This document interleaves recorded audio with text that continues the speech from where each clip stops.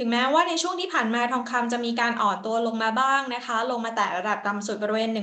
1,844 US dollar ounce แต่หลังจากนั้นทองคำก็เกิดการดีดตัวขึ้นนะคะ ส่วนหนึ่งเป็นแรงดีดทางเทคนิคกันนะคะ อีกส่วนหนึ่งคือเป็นเรื่องของข่าวค่ะ อย่างเมื่อวานนี้ปัจจัยหนึ่งที่ทำให้ทองคำมีการดีดตัวขึ้นนะคะ ได้รับแรงหนุนจาก 2 เรื่องหลัก เรื่องแรกจะเป็นการอ่อนค่าของสกุลเงินดอลลาร์ หลังจากที่มีการเปิดเผยรายงานการประชุมธนาคารกลางสหรัฐ หรือว่าเฟดประจำเดือนมกราคมนะคะ ซึ่งตลาดตีความค่ะว่ารายงานการประชุมเฟดเนี่ยมีความฮอกกิชหรือว่าสนับสนุนการคุมเข้มนโยบายทางการเงินน้อยกว่าที่ตลาดเคยกังวลเอาไว้นะคะ ในรายงานการประชุมรอบมกราคมเนี่ยบ่งชี้ชัดเจนค่ะว่าเฟดจะเดินหน้าขึ้นดอกเบี้ย รวมถึงปรับลดขนาดงบดุล เพื่อปรับนโยบายการเงินให้เป็นปกตินะคะ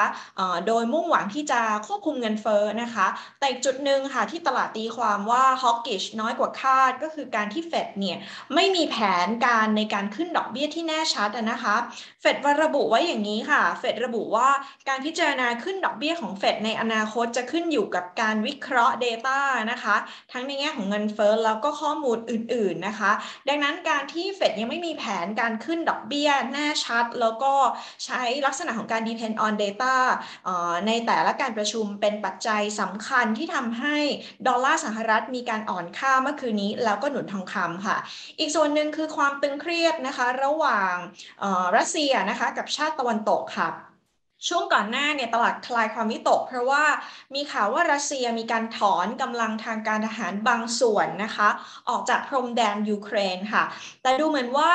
ชาติตะวันตกนะคะ ทั้งนาโตเอง ทั้งสหรัฐเองไม่ได้เชื่อแบบนั้นค่ะ ยังคงมองว่ารัสเซียยังไม่ได้มีการถอนทหารจริงนะคะ แล้วก็เป็นปัจจัยสำคัญที่ทำให้นักทุนกลับเข้ามาซื้อทองคำอีกครั้ง อีกหนึ่งปัจจัยที่เพิ่งเกิดขึ้นในช่วงสายๆของวันนี้ตามเวลาไทยเลยค่ะ ก็คือการที่สำนักข่าวนะคะของรัสเซียมีการรายงานข่าวค่ะว่าตัวกองกำลังติดอาวุธของยูเครนนะคะ ได้มีการยิงกระสุนปืนครก แล้วก็ระเบิดเนี่ยเข้าสู่พื้นที่สาธารณรัฐประชาชนโดเนสลูฮันนะคะ ซึ่งพื้นที่ LPR หรือว่าสาสาธารณรัฐประชาชนโดเนตสก์ ลูฮันสก์เนี่ยเป็นพื้นที่ที่มีความขัดแย้งนะคะระหว่างยูเครนนะคะแล้วก็ฝ่าย pro รัสเซีย หรือว่าฝ่ายสนับสนุนรัสเซียค่ะหลายๆคนกังวลว่าการที่ยูเครนเริ่มต้นนะคะ เปิดฉากยิงกระสุนปืนครกรวมถึงระเบิดเข้าสู่พื้นที่บริเวณดังกล่าวเนี่ยอาจจะเป็นชนวนเหตุที่ทำให้รัสเซียเข้ามาแทรกแซงใช้กำลังทางการทหารในพื้นที่ของยูเครนนะคะ ปัจจัยนี้เองค่ะ กลับมากระตุ้นแรงซื้อสินทรัพย์ปลอดภัยชัดเจนในช่วงเช้าวันนี้ในตลาดเอเชียนะคะ ทันทีที่มีข่าวนี้ออกมาเนี่ยก็ทำให้ดอลลาร์สหรัฐมีการแข็งค่าขึ้น จากแรงซื้อสกุลเงินปลอดภัยค่ะ รวมถึงตัวตลาดพันธบัตรเองก็มีแรงซื้อเช่นเดียวกัน จนทำให้ตัวอัตราผลตอบแทนพันธบัตรรัฐบาลสหรัฐอายุ 10 ปีเนี่ยกลับมาเคลื่อนไหวต่ำกว่าระดับ 2.0%อีกครั้งหนึ่ง แน่นอนว่าทองคำก็ได้อันนี้สงเชิงบวกเช่นเดียวกันนะคะ ทองคำมีการดีดตัวจากระดับต่ำสุดบริเวณ 1,866 แล้วก็ขึ้นมาเคลื่อนไหวไม่ไกลจากระดับสูงสุดในรอบ 8 เดือน ที่บริเวณ 1,873-1,874 ณ ขณะนี้ค่ะ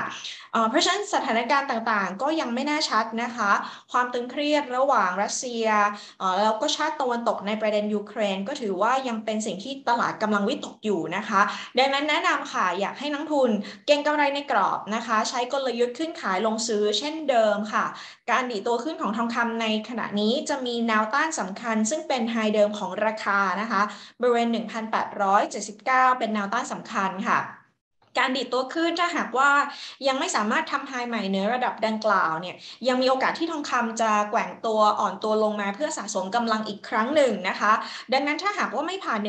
1,879 แนะนำแบ่งขายบางส่วนค่ะ อาจจะไม่ต้องขายทั้งหมด เพราะว่าสถานการณ์ยังคงตึงเครียดนะคะ ติดมือไว้สักหน่อยก็ถือว่าเป็นกลยุทธ์ที่ดีค่ะ เพียงแต่ว่าแบ่งขายบางส่วนเพื่อลดความเสี่ยงของพอร์ตลงทุน in case ว่าไม่ผ่าน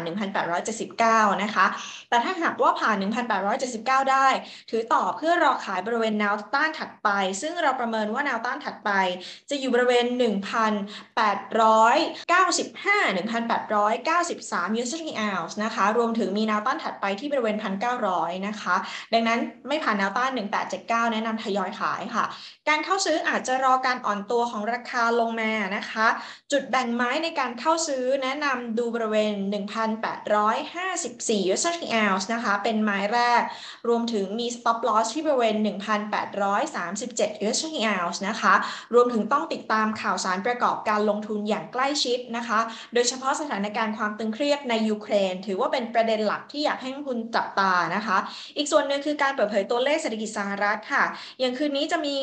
การเปิดเผยตัวดัชนีภาคการผลิตจากเฟดฟิลาเดลเฟียนะคะ jobless claim หรือว่าจำนวนผู้ข้ารับบริการการว่างงานรายสัปดาห์ รวมถึงตัวเลขการอนุญาตก่อสร้าง แล้วก็ตัวเลขการเริ่มสร้างบ้านค่ะ เพราะฉะนั้นราคาทองคำยังมีโอกาสผันผวนนะคะ แต่ว่าด้วยความไม่แน่นอนต่างๆ เนี่ยก็ทำให้นักทุนจะต้องระมัดระวังความผันผวนที่อาจเกิดขึ้น แล้วก็ติดตามข่าวสารประกอบการลงทุนอย่างใกล้ชิดค่ะ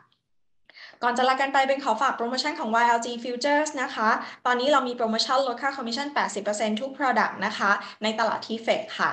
สนใจก็สามารถที่จะเข้ามาดูรายละเอียดได้นะคะ หรือใครสนใจเทรดในตลาด Futures แต่เป็น Futures ต่างประเทศนะคะ ก็สามารถมาเปิดพอร์ตลงทุนกับ YLG Futures ได้ค่ะ เพราะว่า YLG มีการร่วมมือกับ CME Group นะคะ ตลาดอนุพันธ์ที่ใหญ่ที่สุดในโลกพานักลงทุนไทยไปเทรดตลาด Futures ไม่ว่าจะเป็น Crude Oil Futures ตัว COMEX Gold นะคะ รวมถึง cryptocurrency futures ค่ะ